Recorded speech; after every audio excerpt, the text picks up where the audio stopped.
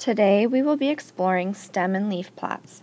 For a stem and leaf plot, we are looking at the stem, which in this case, in these three digit numbers, would be the numbers in the 100 and the tens column.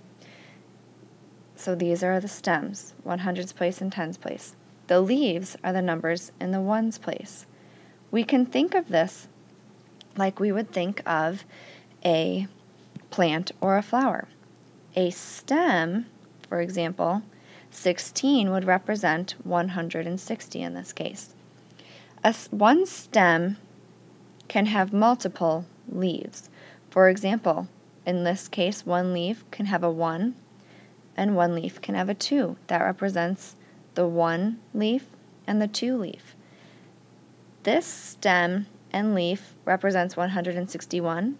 This stem and leaf would represent 162. Now we can see what this would look like when we actually graph, when we actually plot these in a table.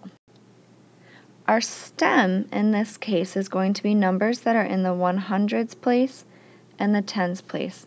Our leaf will be numbers that are in the ones place.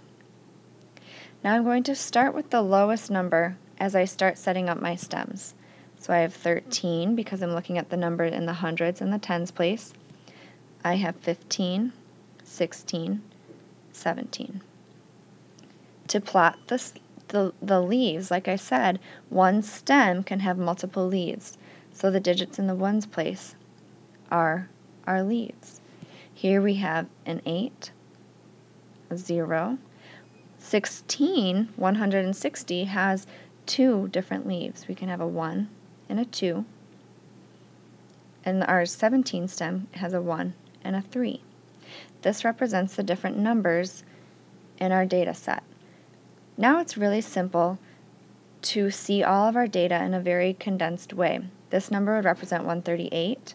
This is 150. Here's 161. Here's 162. Here's 171. Here's 173. Now it's fairly simple to look at our numbers and find the minimum, which is 138, and our maximum, which is 173. We can also find other landmarks using the stem and leaf plot like mode, which would be the most frequent number, which in our data set there is not a mode. And we can also find a range, the maximum minus the minimum,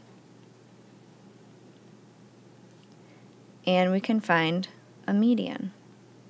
To find the median, you can either set up all the numbers in numerical order, or you can start at the top and the bottom to start crossing off to find the median, which in this case would be, be between 161 and 162 and we would divide that by 2.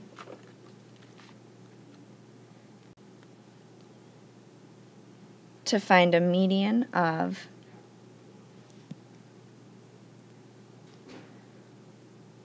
one sixty one point five.